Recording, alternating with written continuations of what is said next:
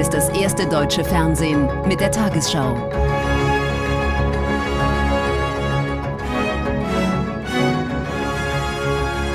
Heute im Studio Klaus-Erich Bötzges.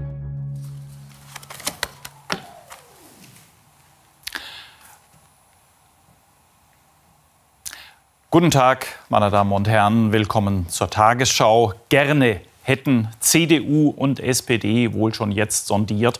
Doch für den dritten Verhandlungspartner, für die CSU, stand bereits seit längerem dieser eine Termin im Kalender, auf den die Partei nicht verzichten wollte.